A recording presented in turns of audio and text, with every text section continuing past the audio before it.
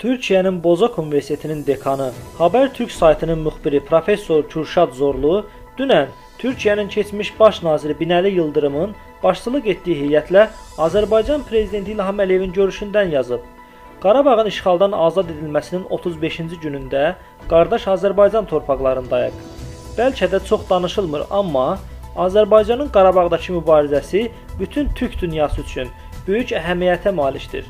Qarabağdakı proses Türkiyə Naxçıvan, Zəngəzur, Təbriz, Xəzər coğrafiyası strateji oxunun geniş bir sahəsini əhatə edir. Bu problemin məqbul hədlər daxilində həll edilməsi çox güman ki, Avrasiya coğrafiyasında yeni güc tarazlığı yaradacaq. Prezident İlham Əliyev evinizə xoş gəlmisiniz deyə bizi salamladı. Əhvalı çox yüksək idi. Elə bu mənzərə özü döyüş meydanında işlərin yaxşı getdiyinin xülasəsi kimi idi. Zorlu yazır.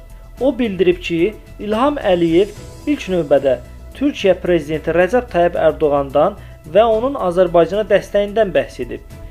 Binəli Yıldırım hamıya maraqlı gələn sual verib. Şuşada vəziyyət necədir?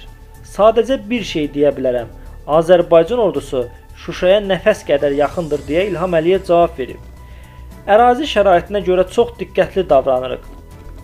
Ermənistana davamlı olaraq silah və hərbi texnika gəlir.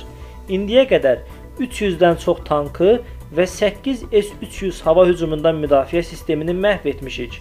Bunlar S-400-dən zəifdir. Bu silahları Gürcüstan üzərindən daşımağı sınadılar və bacarmadılar. Sonra cinayət törədərək mülki təyyarələrlə daşıdıqlarını bilirik.